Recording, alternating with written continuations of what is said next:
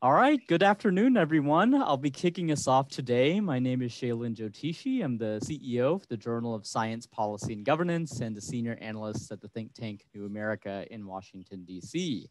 For those of you who are new to our organization, for 10 years, JSPG has been the international open access platform for students, postdocs, policy fellows, and early career researchers of all academic backgrounds to contribute substantive policy solutions addressing every imaginable dimension of science, technology, and innovation policy and management debate, ranging from how to address space debris to new models for climate action, which is salient today through strategic partnerships like with our friends at AAAS and the United Nations, the UK Science and Innovation Network, NSPN, and many others, our mission is to publish, nurture, and help elevate next generation voices in science and technology policy.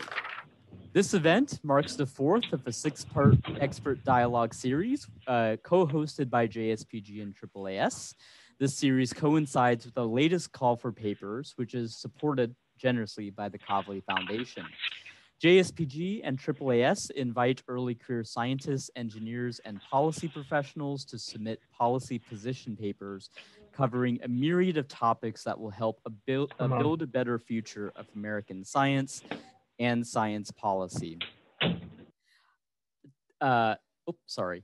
Uh, all recordings will be posted on our YouTube channel, which I hope you'll follow. We'll include the links in the chat.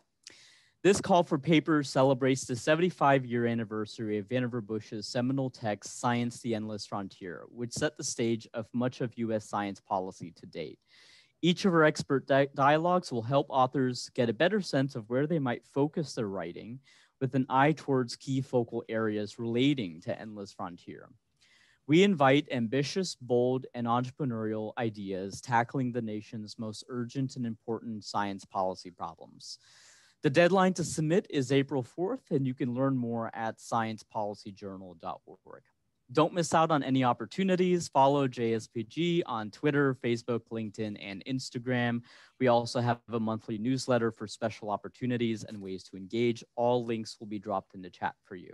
If you have any questions, please don't hesitate to contact myself or members of our team, Joanne Lee, Adriana Bankston, and Sahil Mehta. Without Joanne, Adriana, and Sahil, we would not be gathered here today. So much gratitude to all of you. Today, we have an amazing panel to shed some light on how US science policy can help us address environmental and climate change challenges.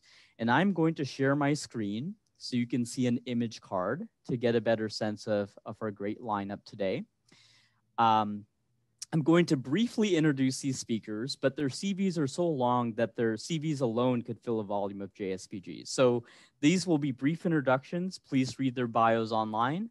While I do that, please follow them on and their organizations on, on Twitter. Tweet us, share your thoughts. We'll be amplifying you throughout the session. And the person who tweets the most will be invited to contribute to a special JSPG blog feature at the conclusion of our webinar series. First up is our moderator, David Goldston.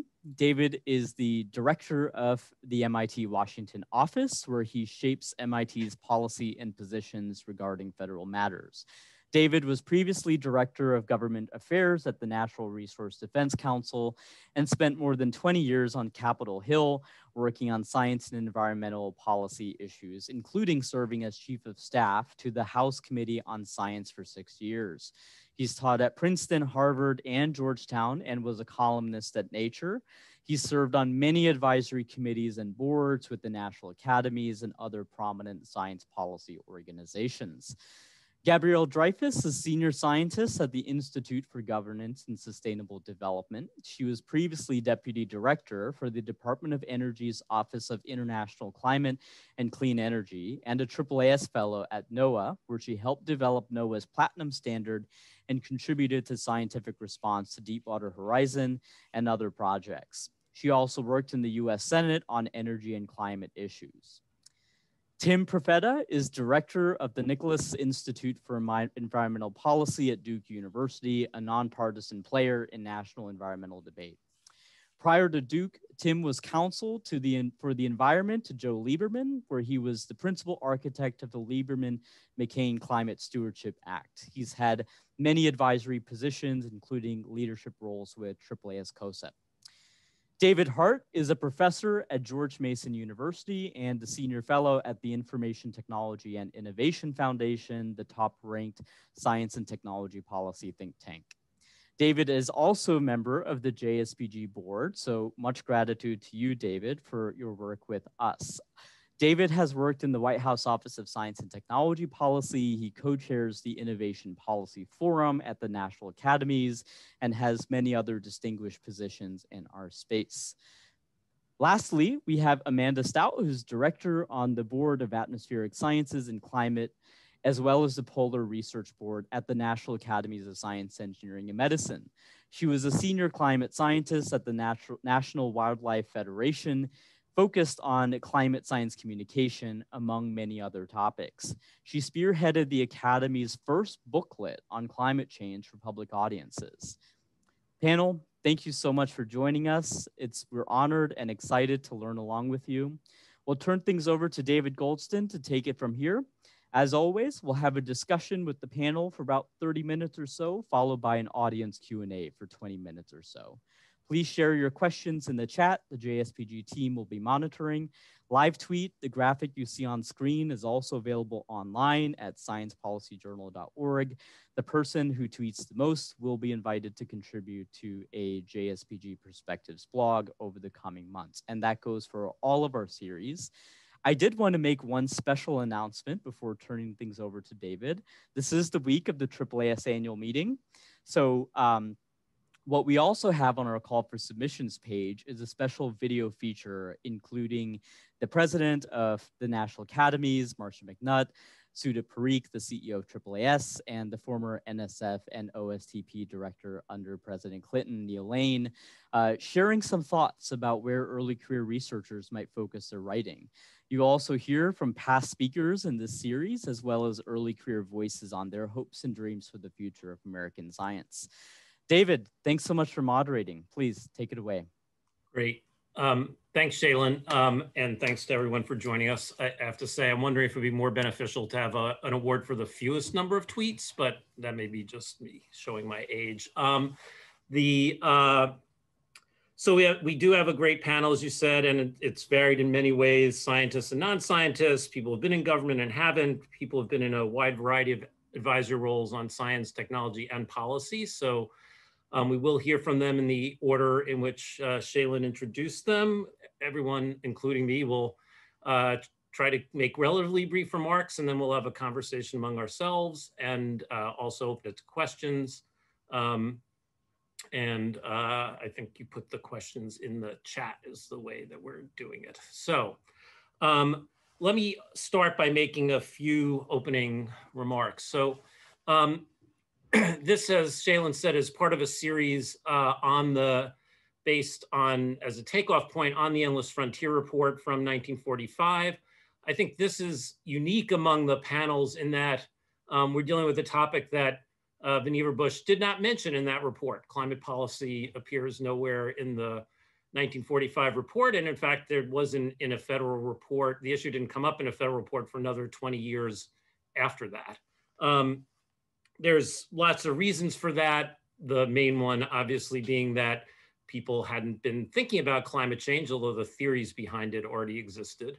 But I think there's even a, a deeper reason, which is relevant to this, which is that um, the Endless Frontier Report really didn't think about science as an input to policy. Um, and uh, so what we now call science for policy just wasn't on Bush's mind in the report. And that's important because the science for policy brings up different issues than other kinds of government science because it is um, inherently uh, political. Now, these days, we often sometimes think of political as simply a pejorative, but um, in this case, I mean it much more neutrally. I like to say all you need for politics are two people and a choice. Um, it's how you make public decisions.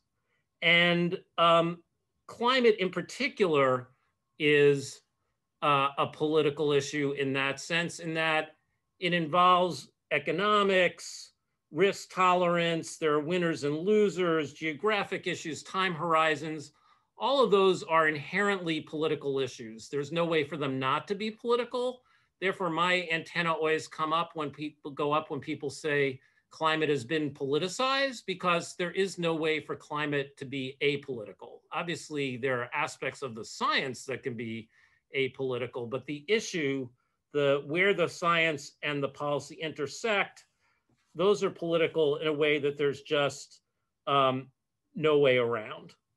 Um, I think that the political nature of the climate policy question is actually going to become even more apparent now that we have a, an administration really for the first time that has fully embraced climate as a priority issue.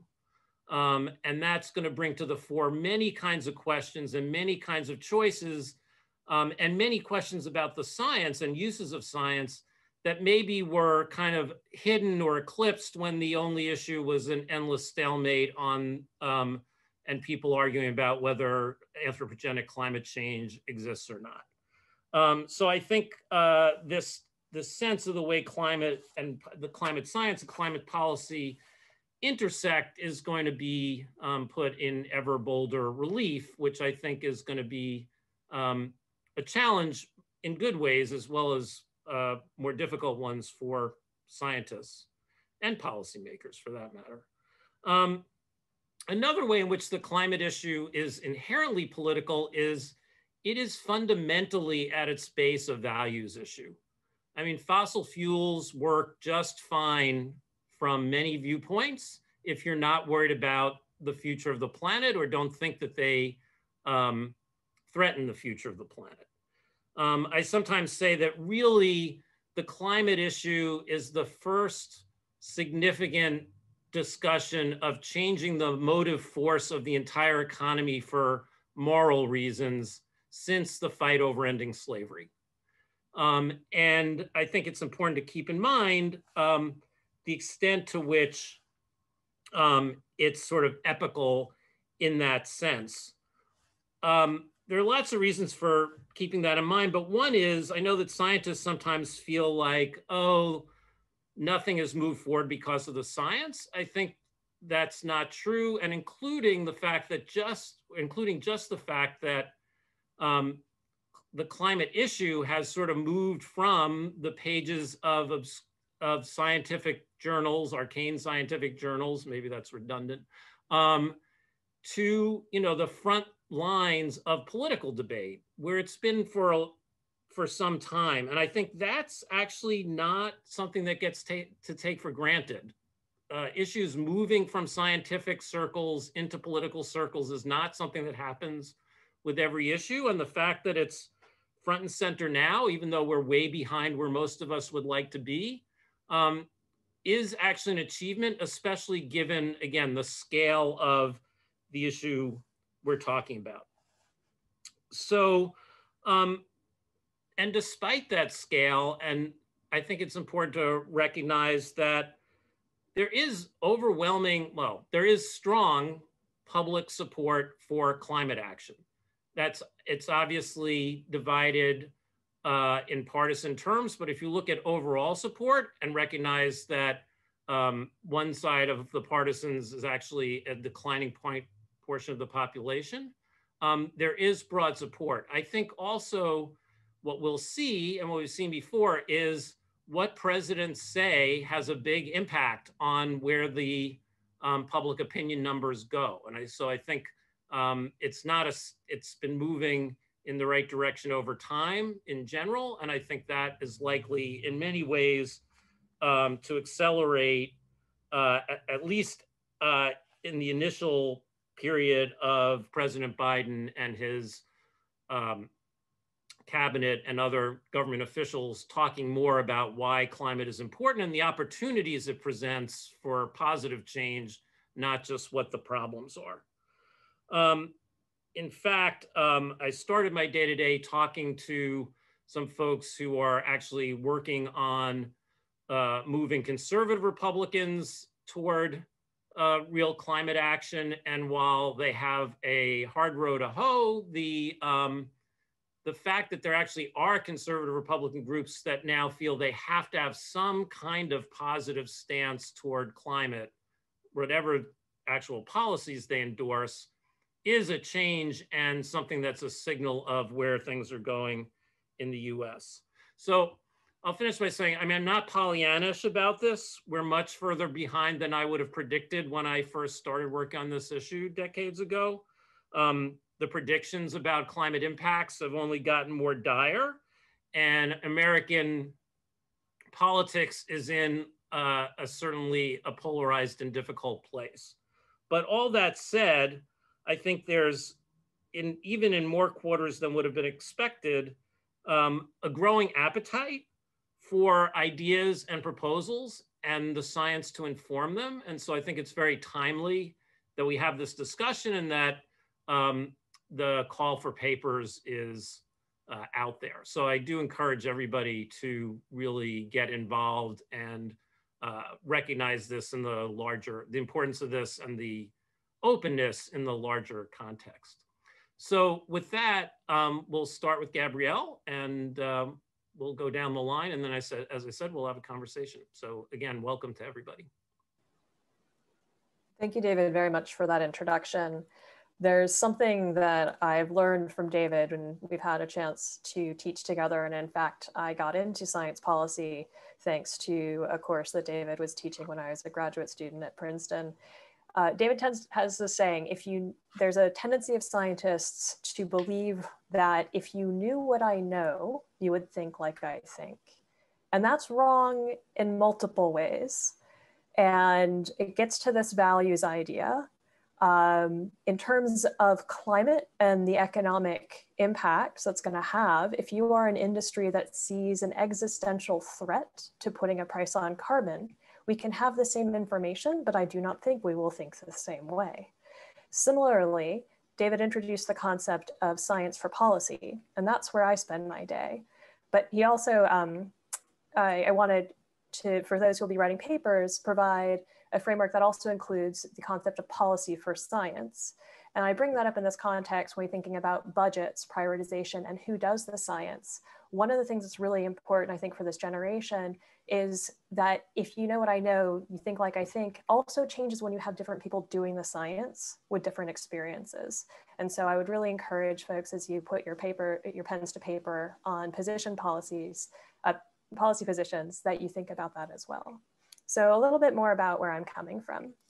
So I'm uh, with a a nonprofit organization, a non-governmental organization, the Institute for Governance and Sustainable Development.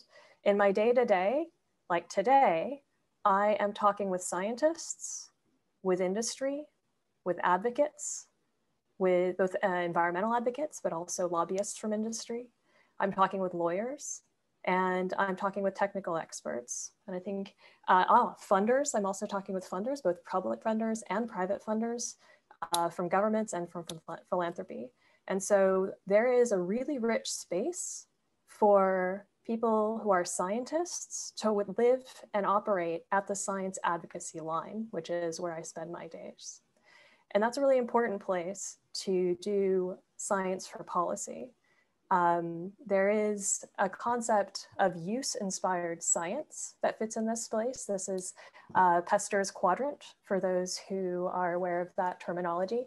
And I'm also borrowing from uh, Jane Lubchenco, who uh, wrote a piece in 1998 in Science about a social contract for science and talking about use-inspired science. Now, an example, a really great example of use-inspired science today is the vaccines that have been created in a remarkably short period of time. In the climate context, one of the examples that I'm using this week is the natural experiment of COVID and how that affected our use of energy and the implications of both a reduction in CO2 emissions, but we also saw a reduction in the co-emitted species including cooling aerosols, sulfates that reduced um, when we turn the knob as people stop driving. There was lower energy emissions for industry.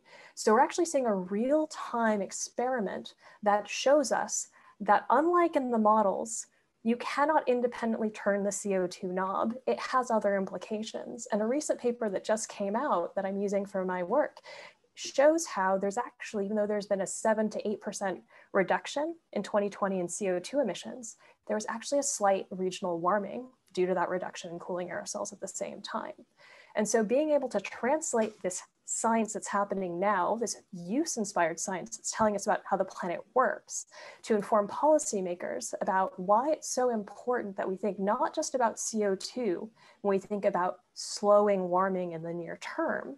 We need to think about all the other implications and the fact that there are other climate pollutants that we can control, such as methane from agriculture and black carbon from other kinds of burning, and a, a personally priority topic, hydrofluorocarbons, uh, which are controlled now under the Kigali Amendment to the Montreal Protocol on ozone depleting substances.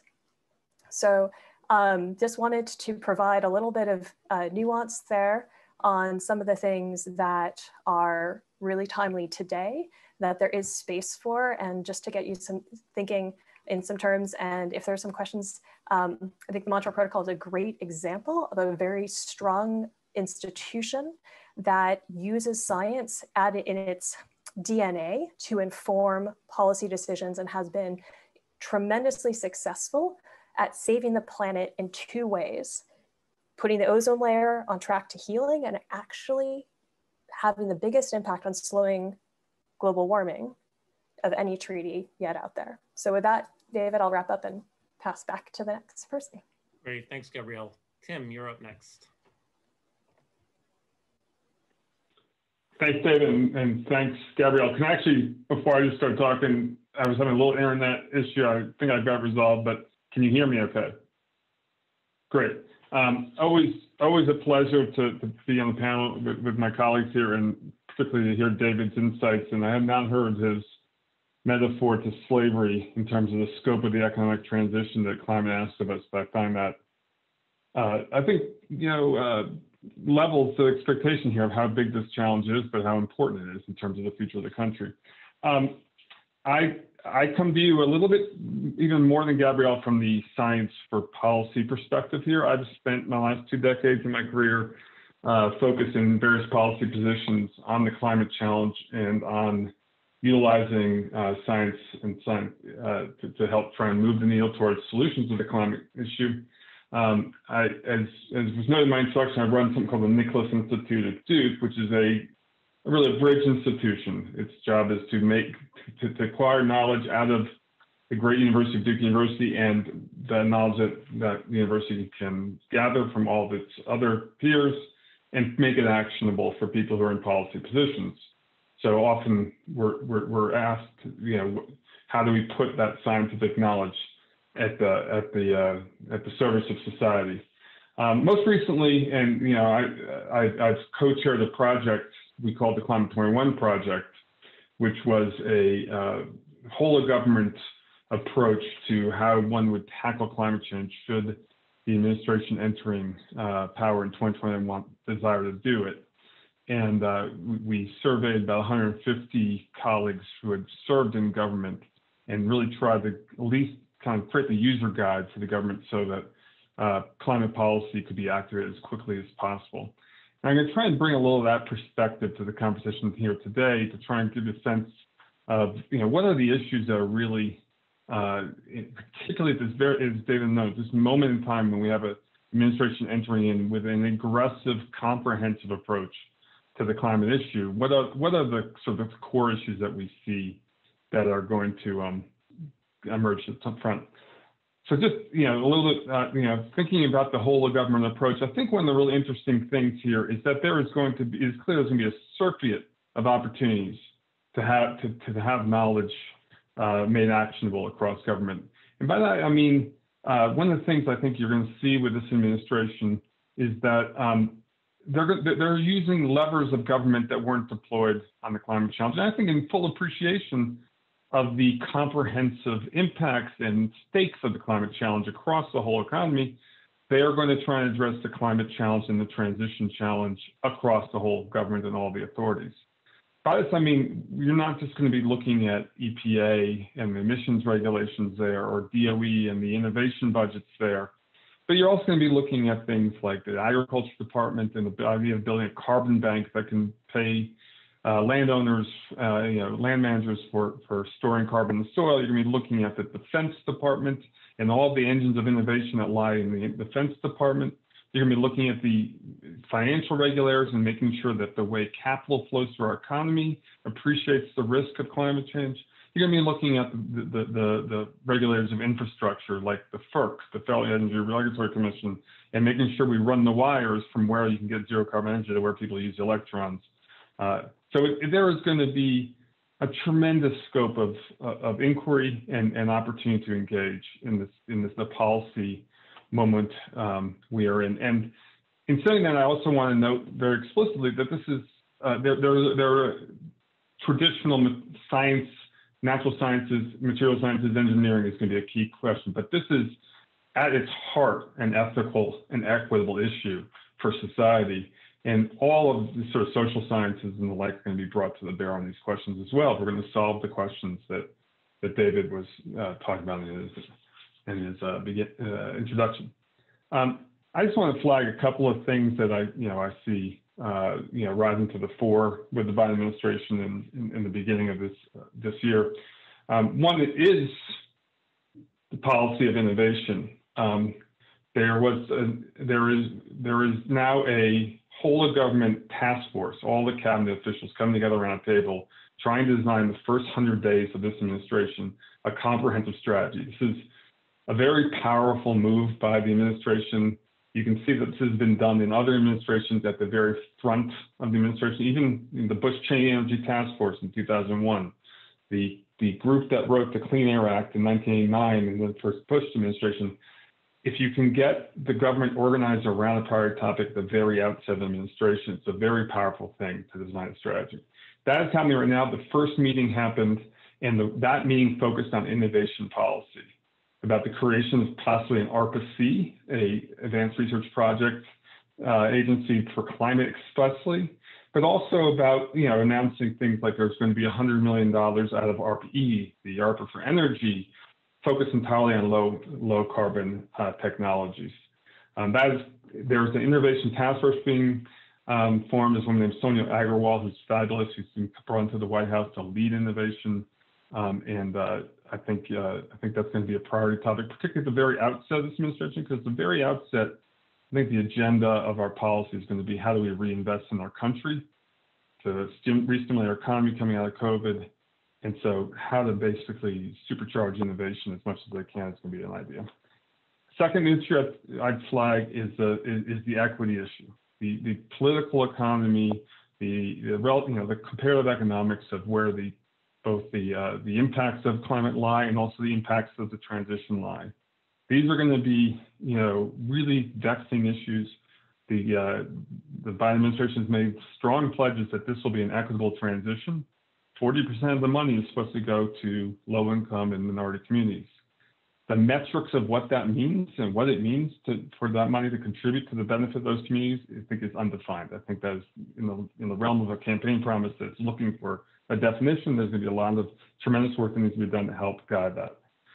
Um, also, there, there's going to be a lot of focus on just transition in an industrial policy and the innovation policy necessary to make sure that the people who are going to be impacted the most by the transition itself, the people oriented in the fossil fuel uh, uh, dependent communities, et cetera, have a, have a path forward, both because it's moral to make sure that, that, that the Americans have a, a, way for a good livelihood and political, because those are the communities that are going to have the most concern. Uh, issues of resilience, I think we're kind of behind uh, the the, uh, the curve, unfortunately, in terms of where the, but they're going to be essential to um, and looking at the engineering challenge of a lifetime to think about how we make our natural systems more resilient uh, to the impacts of climate change. Finally, I, I think, I think, uh, and I think if you look at the most recent NAS report, which I'm sure one of my, my panelists talk about, there are some very fundamental steps that need to happen to to uh, to, to, really meet the mid-century challenge uh, in terms of uh, the, just the pathway that we have to take in our energy usage and the transition we have to, to, to, make in our energy usage. One is we need to decarbonize electricity. The Biden administration has promised to fully decarbonize the utility sector by 2035. And that that is a, a, a quite a challenge because it may not be able to happen because of politics legislatively. So the EPA may be writing rules to make, make uh, emissions requirements us there. Those will be likely very based in feasibility of technology, given the way the law is written, and looking at the technologies for CCS, carbon capture and storage, are going to be, I think, a very essential engineering inquiry, science inquiry question for setting those standards. Second, we need to electrify transportation and other major sectors and the, the needs for battery technology and infrastructure and like to support that. And third, we really need to look at ways that we can uh, provide economic services from sectors that are hard to hard can't be electrified, hard to decarbonize, and looking for things like the hydrogen uh, economy, the merge, to be able to provide the 20, uh, a pathway that 2050 decarbonization um, target. I'm going to stop here and, and, and, look forward to hearing from Amanda and David. But I really appreciate the time and, and, and being able to share this, uh, this session with you.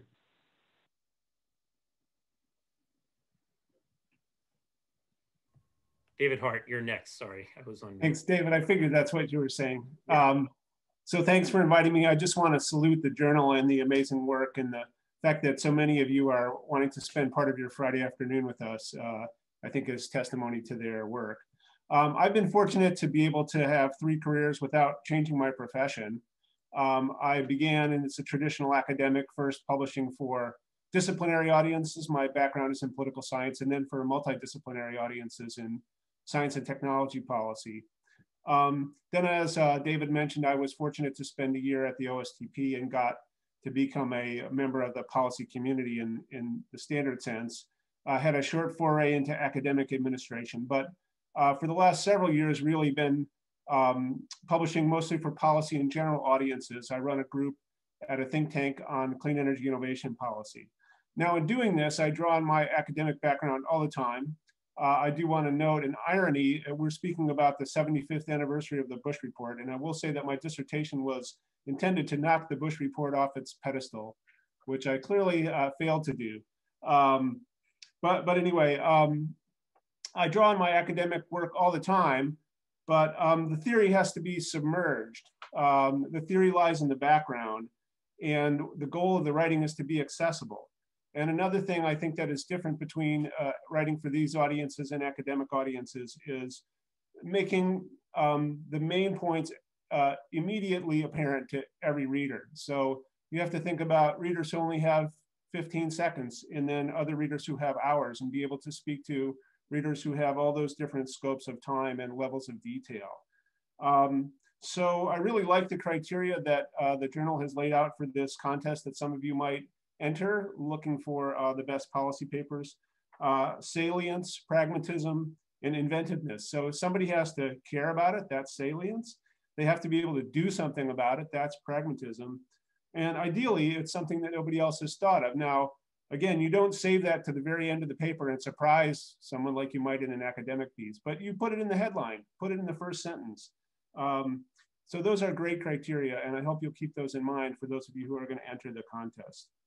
Uh, I work on the policy for science side of things, that is the innovation agenda that Tim talked about, that was the subject of the meeting at the White House yesterday, which I dearly would have loved to be a member of um, and really love looking at, some of you may have seen the Zoom image of everybody involved in that meeting, which was very exciting.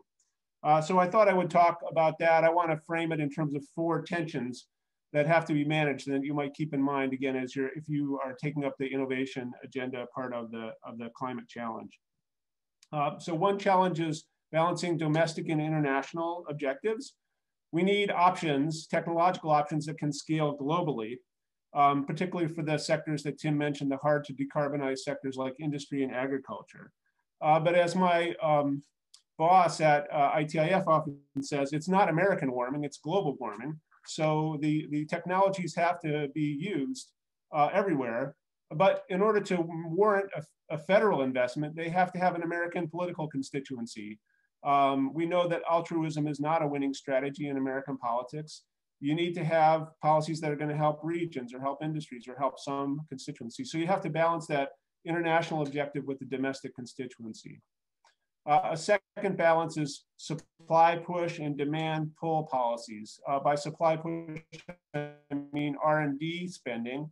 I spent a lot of time on this. We did a little book on this, and one of my colleagues on that book is now uh, working for, for Secretary Kerry or Envoy Kerry to distinguish him from the actual Secretary of State. A little confusing there.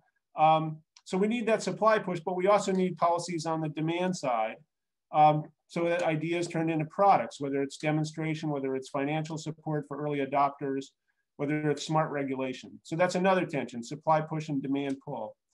Third has to do with incumbents and uh, new entrants. Um, incumbents like to say the customer is always right. They really know how to meet their customers' needs.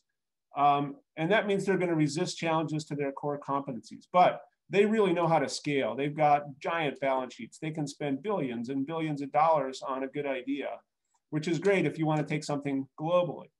On the other hand, entrepreneurs like to quote Steve Jobs, who said the customer is always wrong because they don't actually know what they need or what's out there.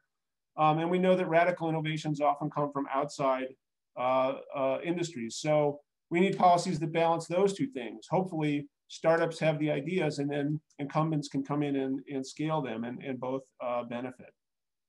And then the last one, and that's closely related to these others, is the balance between competition and cooperation, whether we're talking about countries, whether we're talking about company, companies, whether we're talking about researchers.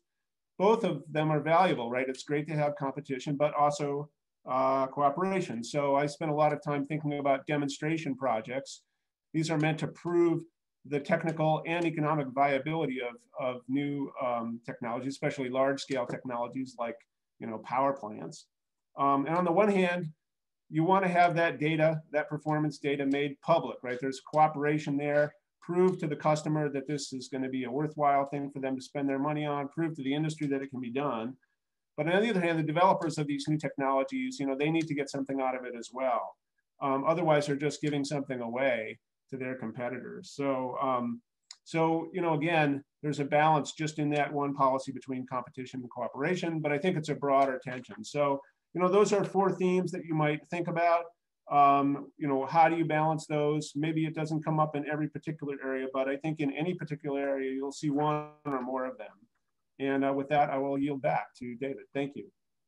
Thanks, David. That's a great overview. I, you know, it occurs to me that actually Another tension is one in the assignment between pragmatism and novelty, um, which can also be um, sometimes figuring out how what the through line is there. In fact, uh, it brought to mind uh, a line from a classic history book about the Declaration of Independence, where Carl Becker said that um, there was nothing new in, in the Declaration of Independence because nothing would have been more foolish than to try to galvanize world opinion with ideas no one had ever heard of before. Um, and so uh, that's it's a very interesting kind of interplay there too. Last but definitely not least, uh, from National Academies, Amanda, please. Well, thank you so much, David. And it's really a privilege to be on this panel. Um, I've already learned so much. Um, in our prep session, I offered to go last, thinking that the Academy has such a broad purview and I'll, uh, I'll see what everyone else talks about and kind of fill in the gaps. And if anything, I, it backfired because now I have a lot more things that I would love to kind of dig into because everybody had such great ideas. So hopefully we'll have time in the Q&A to kind of explore some of these things. Um, so I um, uh, uh, am trained as an atmospheric chemist, but I've spent my entire postgraduate career working at the Science Policy Interface and most of it at the National Academies. Um, in my current role, I um, provide oversight to the Academy's work related to climate, um, as well as weather and air pollution and polar issues. And so um, have a pretty broad uh, view into the um, Academy's work. Um, and for those of you who are not familiar with the National Academies, we were founded in 1863 by a congressional mandate. Um, and we are an independent nonprofit that provides advice to the government and also serves as the uh, preeminent honorary body for the scientists um, in, in the United States. And we are composed of three academies, the National Academy of Science, the Academy of Engineering, and the Academy of Medicine. So sometimes that can be confusing as we have many different names we go by. Um, and so in my role, I have a, a, a really have the privilege of being at this juncture um, where I get to work with the nation's leading scientists and with the leaders in, in the sort of federal science space and thinking about um, how the nation invests in research um, related to climate mostly, um, as well as helping think about and interpret the findings for research um, to inform policy and programs. Um, and um, so I, I, feel like I have a nice vantage point into some of the issues that are coming up. And, um, you know, one of the things that I thought I would highlight in my remarks is some of the challenges that um, I see us facing um, in a number of the projects across the academies. And then I'll, I'll, provide some examples of some of the specific topics that we're thinking about right now and working on. Um, and when David Goldston opened it up and said there's a huge appetite now for innovation. I, I, completely agree. And it's very exciting. But at the same time, I'm a little bit daunted by all the details and the practicalities of taking all that appetite and bringing it into practice. Um, and in the climate research space, um, as we think about how to make decisions and advice about what climate research should get public support and how we organize that research, I think there are some, some pressures on that that are creating some interesting questions, things that might be interesting to dig into in a policy position paper. I see that the discussions we're having about the future of climate research is that it's driving it to be even more convergent, more truly interdisciplinary, more societally driven, more justice or equity oriented, and more urgent. And um, you know, as I think about climate science, I think there's always been this assumption that a lot of the work that we do is societally driven or convergent. Um, however, what we're hearing now more and more and what our committees are saying is that we need to do much better. Um, and this, I think, begs questions of how we need to revisit our existing mechanisms for determining research priorities. What does that mean in practice? And with the inertia of the system, how do we make adjustments that meet the urgency of the climate problem? And I think these are all pretty non-trivial problems that we've confronted for a while. So a couple examples. Um, one area that we work on a lot are the research priorities for the Global Change Research Program or the USGCRP. Um, the Global Change Research Program was founded in 1990 in the Global Change Research Act of 1990, and it is the coordinating mechanism within the federal government to um, look at research across 13 federal agencies. Um, the national academies are called out in that act to advise the program on their research priorities. So we have reviewed their strategic plans and we have an ongoing advisory committee that interacts with them on a regular basis.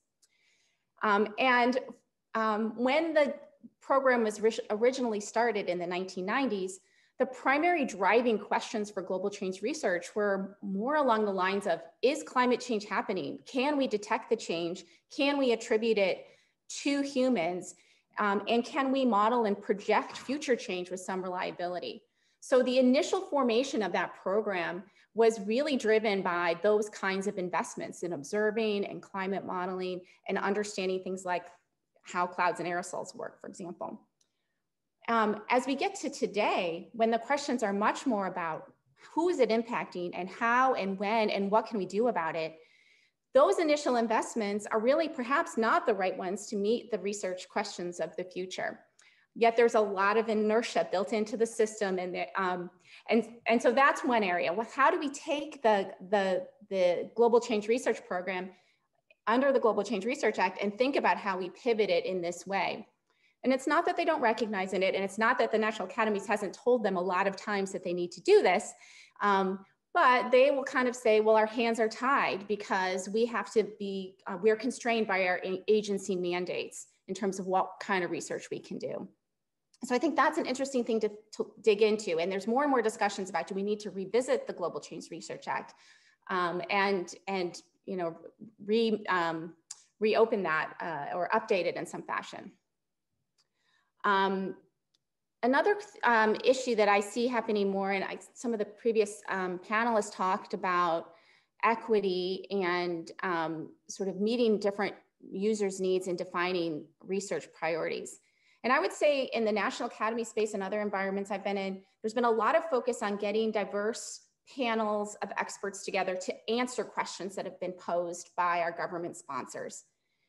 And um, there has been less effort in terms of bringing together diverse points of view to ask the questions and determine what are the questions that we need to go after.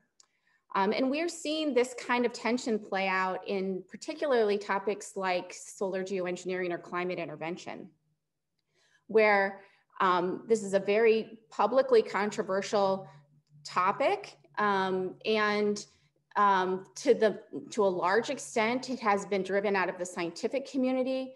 Um, and yet it impacts, you know, if we were to proceed with deployment of these kinds of tech, maybe I should step back for those who don't know what those kind of technologies are. Those are deliberate interventions in the Earth's atmosphere to reflect sunlight back to space. Um, and the most promising approaches that are being, and I promising is probably too strong of a word, but the approaches that have been proposed involve ejecting aerosols into the stratosphere um, or brightening clouds in the marine boundary, boundary layer. Um, so there's a big um, part of the community that thinks that there should be active public participation and engagement in defining the research priorities in this space. That comes from a, a place, I think, a good intention, but in practice, there are questions about, well, when and where and who and how should we be engaging in making those decisions? Because in theory, if you were to try to change the climate of the entire planet, it would affect everybody and everybody's a stakeholder. So I think there's a there's that kind of tension could be another kind of thing that would be really interesting to dig into. I'm going to pause now because I probably could keep going for a long time and we can uh, move on to questions. But thank you again for having me. Great. Thanks, Amanda. Um, so we do have some questions. So um, I'm going to not um, ask any of my own. These are all really good questions that cover a range of issues. So the first one is um, a question asking about uh, the relationship between Vannevar Bush's basic and applied science. How does that show up today in fields like environmental science and ecology? Um, does it look different from other um, areas? So let me just say a word and then maybe we'll go to, I think almost everybody have, probably has it, but maybe we'll start with Gabrielle and Amanda. The, um, although I, I suspect, I don't know, I, if I remember, David's uh, dissertation probably takes aim at the basic versus applied as one of its uh, efforts to knock uh, Bush off his pedestal. But um, it's interesting. I think it gets to one thing that Gabrielle talked about in her introduction, something called Pasteur's Quadrant, after a book by Donald Stokes, which created the category use-inspired basic research. So in other words, basic long-term research, it's not applied research, but it's got a particular goal in mind. And I think a lot of the research um, related to environmental problems is like that, right? It's open long-term research, but with a goal of solving particular problems that have um, uh, real, real life implications. Um, and the only thing I, I'd add before turning it over is um, the flip side of that, which I, I, don't think Stokes worried about, I haven't read the book in a while, but the um, sometimes that very use inspiredness, which on the one hand drives it, makes it what people want, also lead people want to attack the science to say, oh, you had your end goal in mind, right? That it wasn't just the use of it, but the specific finding that people went out looking for. And so um, on the one hand, people want climate science that actually can answer climate questions. On the other hand, there's no climate or maybe even ecological more broadly finding that's not immediately um, doesn't immediately imply certain political things and then is attacked sometimes on that basis. So it's it's a little the double-edged sword is maybe um, there's maybe more of a double-edged sword than than Stokes or for that matter Pasteur um, had in mind. But um, Gabrielle, why don't we see if you have something to add and we can, can go to see if anyone else does. Yeah, David, I think that's a really good summary. And actually, one of the things that the Montreal Protocol as an institution does really well to defend against that edged sword is it actually has two different kinds of expert panels built into its institutional structure for informing the decision makers, those who negotiate the treaty. There's something called the Scientific Assessment Panel, which every four years puts out an assessment of the ozone, and it is based on peer reviewed literature, and it says what we know. It doesn't say what to do with that information, it says what we know. There's a separate set of panels. I am informed on participate in one of them called the Technology and Economic Assessment Panel. And this job is, in this pan these panels are intended to make the science actionable. And in this particular case, when the Montreal Protocol says you need to phase out, or the science says the ozone layer is at risk from these particular chemicals and it will be harmed in these ways unless they are reduced these amounts. The TEAP panel then is able to work with experts sector by sector to identify what are the technologies that are available today, how much do they cost, and provide this information in an actionable way so that negotiators are able then to put together the decisions to say, okay, this is the timeline that we're going to phase out or phase down these substances in these sectors. And so there's a really useful um, differentiation that I think has made the Montreal Protocol particularly effective. Great, thanks. Amanda, I mean, what you were saying about USGCRP about the Global Science Research Program was partly that um, maybe it gotten too much sort of just science for science sake and not use inspired enough, or at least the uses hadn't caught up with the current po politics. Do you want to say more on that? Yeah, I mean, I sometimes feel like um, climate scientists feel like, well, I'm working on the climate, therefore I must be doing something that's societally beneficial. And it kind of feel like they feel like they have a pass. and I think increasingly that is not going to fly. That there needs to be real engagement with um, communities and users. And, and let me give an example from my polar side. So um, the National Science Foundation um, has a Navigating the New Arctic um, uh, theme and one of their big 10 ideas of eh, their funding. And they've done a couple of calls for proposals um, for research in the Arctic, which require having either a local community partner or an indigenous partner on that.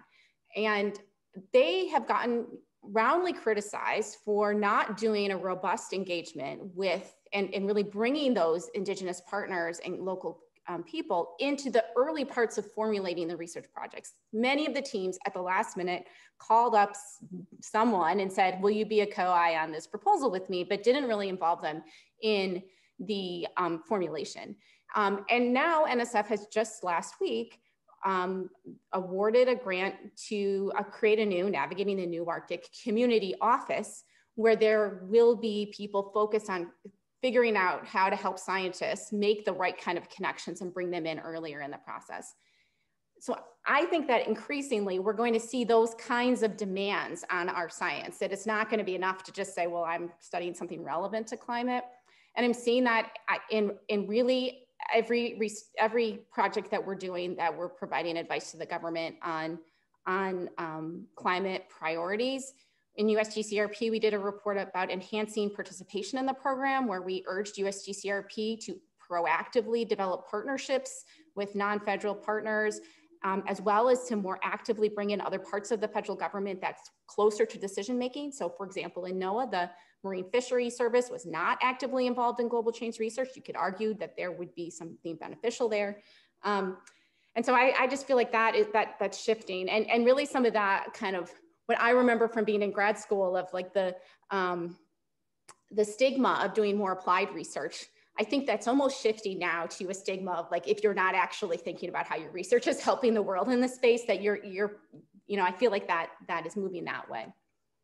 Great. Um, we're getting more questions, so I won't uh, turn to others right now, but the, um, I will say that that basic versus applied is probably still most fraught in the technology area where David Hart um, is the expert on the panel, where this is still the issue of how to get um, what, how far down the the pipeline that no one thinks actually exists, the government policy should should go.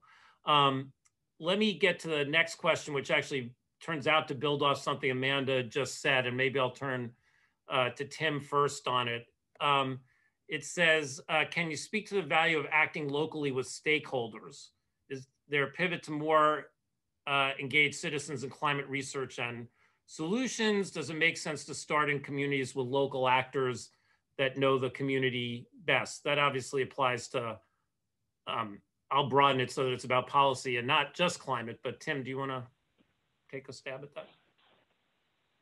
No, absolutely. And I mean, the short answer is yes, there's a great deal of value in engaging.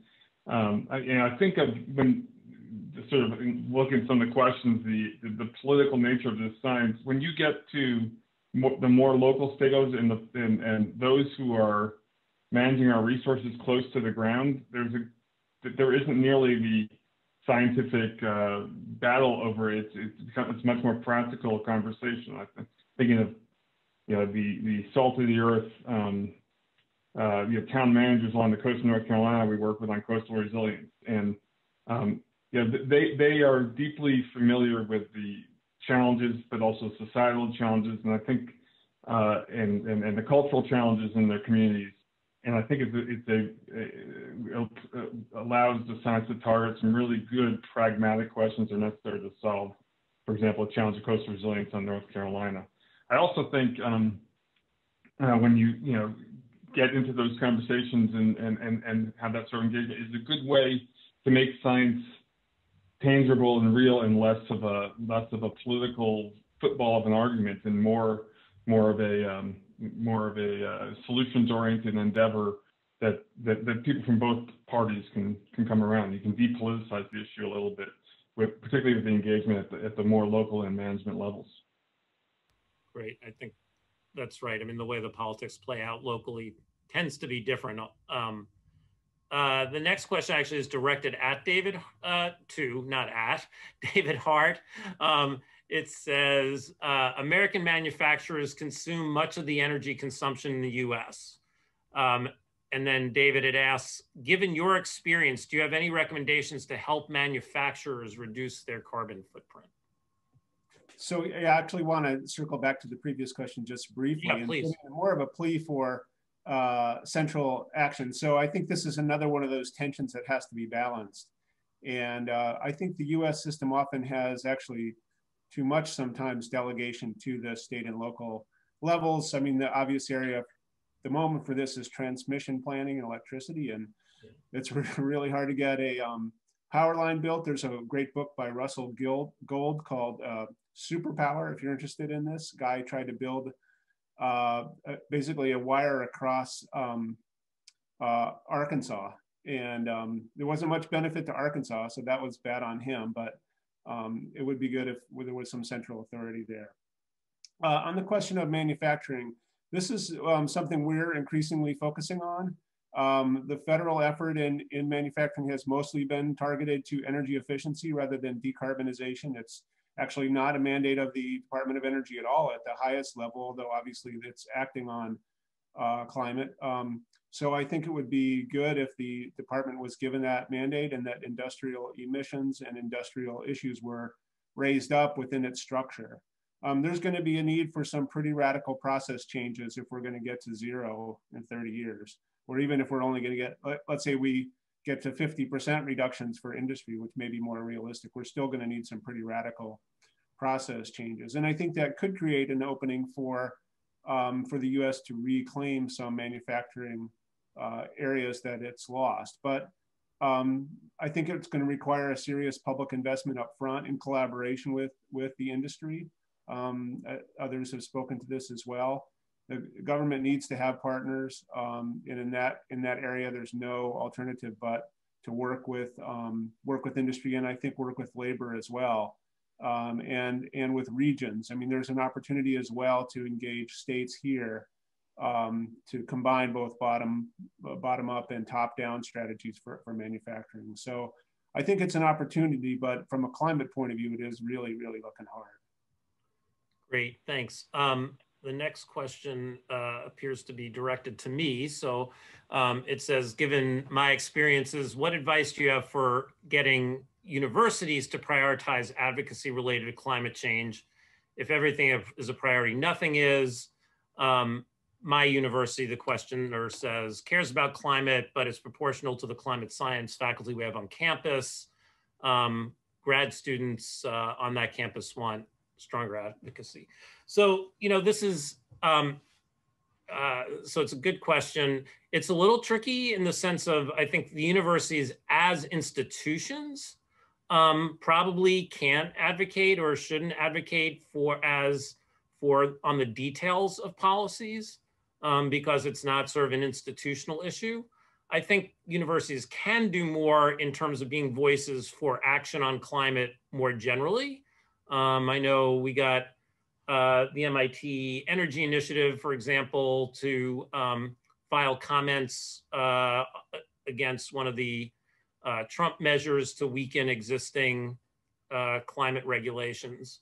Um, but the fact that the university's institutions um, maybe can't play sort of the advocacy group, the advocacy group role doesn't mean that there aren't lots of things they can do, including, you know, facilitating both faculty and students um, to participate more in the climate discussion. That can be, um, first of all, arranging things to actually inform the climate discussion, um, given the, the experts. It can involve helping grad students uh, connect with uh, the policy arena, both by providing information and um, acting as a go-between. Most major universities have um, offices that, like the one that I run, uh, either based in DC or on campus, that are doing government affairs.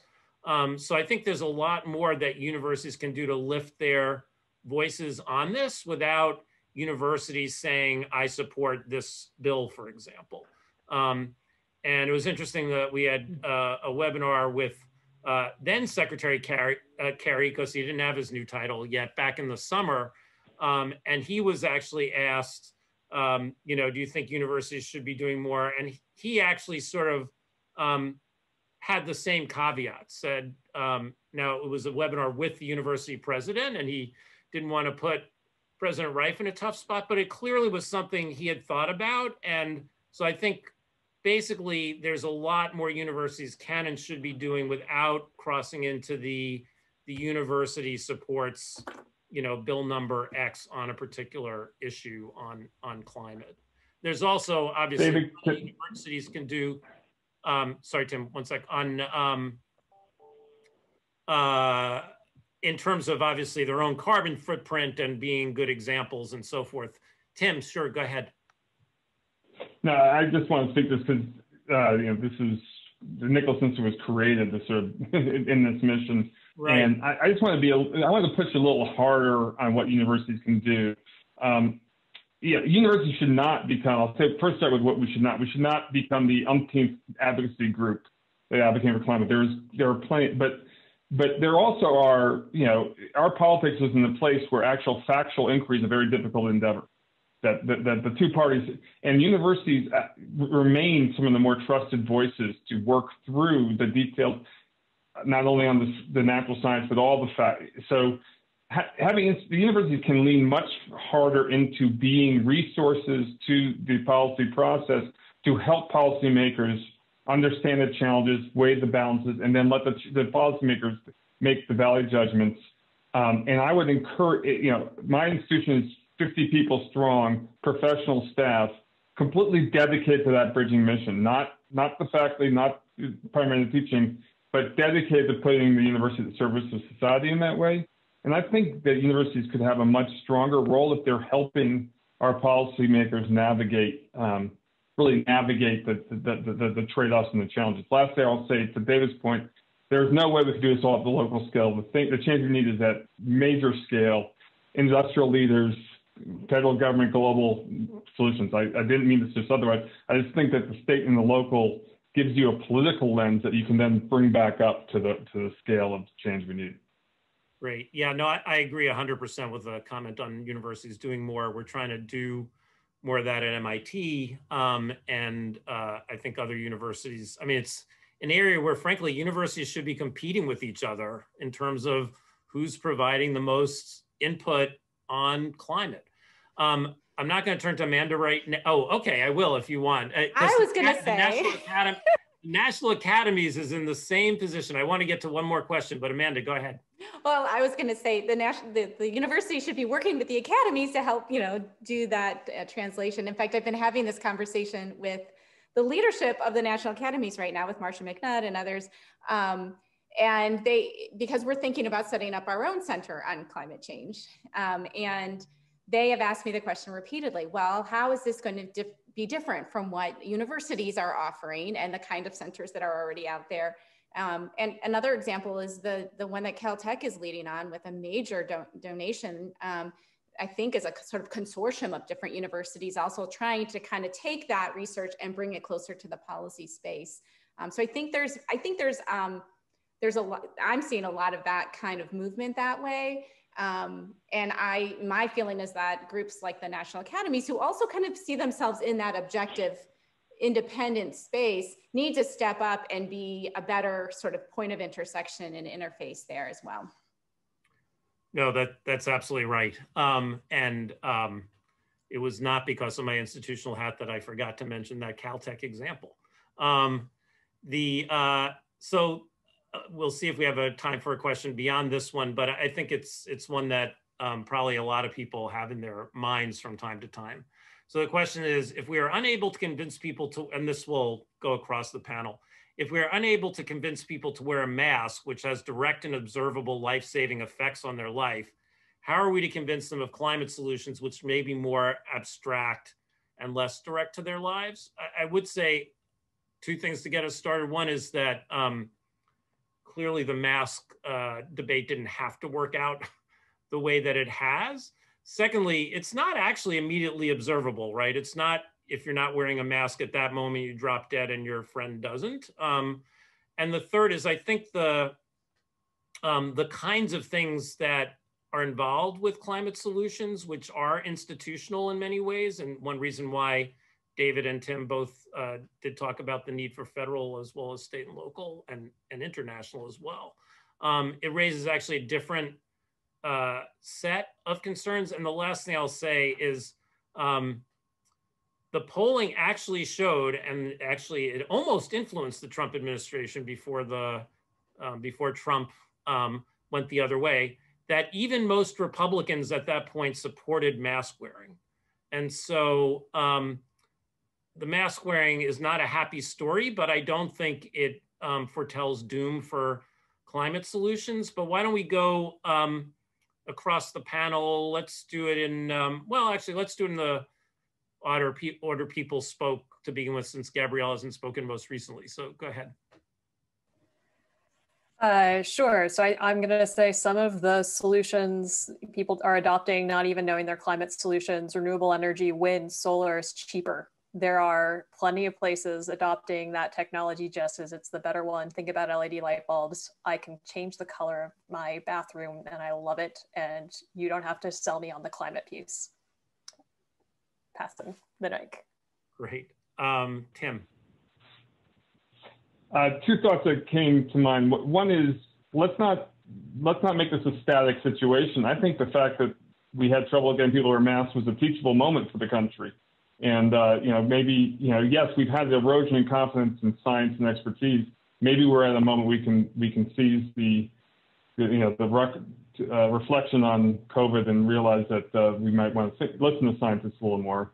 Second, um, we don't have to teach everybody to wear a mask or to change their light bulb, although we want to have them change the light bulb. Go back to today's point. Some of these decisions, and the most influential ones, are made at scale at very sophisticated levels and those will permeate down through the economy. And so we, we you want to think about the points of decision making. You may not have to get John Q. Public on every decision. Great, David. So I I think what's important is to think about um, opportunity and um, and uh, uh, hope. I think people shut down when they're asked uh, to sacrifice and and the the messaging focuses on the threat now i don't you know it's different with climate change and, and um, covid but i think the you know we're going to make progress if people see a vision of themselves in this future as many people as possible see a vision of themselves in this future it's great if as gabrielle said you know if it's cheaper and better that's fantastic. Uh, if it realizes some value that's a little bit different, even if it costs a little more. But I think that the cardinal sin that uh, many people have committed is just focusing on trying to scare people to death. And uh, I think we've proven over the last uh, 30 years, you know, that doesn't work. So I'm excited that the this administration is trying to offer a different message, and uh, I hope we can build on that. Great, Amanda. I totally agree with all my panelists, fellow panelists, on their remarks, um, and just add to that too that there is, um, you know, there are there's a whole science around um, social and behavioral sciences. There are experts in these matters, and there have been pushes for you know decades to get them more actively engaged in in the climate research and um, and I think they have a lot to offer here too. And I would even on the COVID piece, the National Academies established a standing committee specifically to provide rapid advice from the social sciences um, in uh, on those topics. And so this this is something I think that could also offer um, um, a lot of help. And I will say, perhaps the best climate talk I ever saw was given by a Disney Imagineer who um, I, I, kid you not, who kind of asked the um, audience to imagine a future in which all of these technological innovations had made your life better and it wasn't about sacrifice and it really was about hope so i i agree completely that that you know there's an opportunity to pivot there and really help people imagine this um, as you know a positive thing for the future great um, the I won't prevent myself from making some remark about Mickey Mouse solutions. But the um, uh, so the last question, and we only have a couple of minutes for it, literally, which is probably good because it's so big. You'd really be on the hook if you had more time. And maybe I'll ask it uh, to Tim, and uh, if others want to jump in for a second, they can. And it says, what role can government agencies play to actively include uh, environmental justice, um, in their climate planning and what can government employees do to make climate justice part of their work, even if it's not an, an agency mandate, although I think now it will be, so. Yeah, the second question is clearly a mandate from the top in this administration, unless they're limited by the authorities uh, that they're executing, they're going to, um, I, you know, the, the, what can they do to make it an integral to their regulations? It, you know, the Administrative Procedures Act requires the government to to evaluate and listen to the impacts that what they're doing is on all all all communities, and they can make a very strong, and I think they will, affirmative, affirmative uh, uh, uh, outreach to those communities to make sure they they understand and account for the impacts. Two more quick thoughts. One is uh, that you know a lot of you know a lot of these agencies don't have a single tool in the toolkit. You know the, the greenhouse gas rules may not be able to control for everything for, for a small community if you're trying to regulate a plant. But you also have all the toxic air pollution the traditional air pollution tools, and you can use them in conjunction with each other to make sure you're protecting people. Lastly, I think, as I said in my talk, we need to actually figure out what some of these metrics mean. What does it mean to work on behalf of some of these communities and, and make sure that we're living up to the equity, uh, equitable uh, concerns that underlie the transition. Great, thanks. That was a great compact and concise answer. The um, I'm glad you you mentioned the Administrative Procedure Act. I mean, an implicit line through all this is you know the intersection of law and science and um, administration Administrative Procedure Act, which goes back to the 1940s, is really the fund gives the fundamental structure for all the uh, regulatory writing. So that can be uh, a homework assignment for people to uh, look into that. It's also the basis on which the Trump administration lost most of its uh, environmental cases um, and wasn't able to roll back uh, rules the way they had hoped. Um, with that, thanks for a great panel. We really covered a lot. I think hopefully our audience found it helpful. Uh, Shalin, back to you to close up. Thanks so much, David, and thanks so much to our panelists. We have just one minute remaining, so folks, I'm just going to give you some some helpful information here. Just one minute more. Uh, we will have two more uh, sessions in the series. Join us next Friday with our colleagues from AAAS. Joanne Carney will be moderating a panel on what does scientific merit and excellence mean? What should it mean? We want to hear from you and to get some ideas, we'll, we'll hear from some of Joanne and, and her colleagues.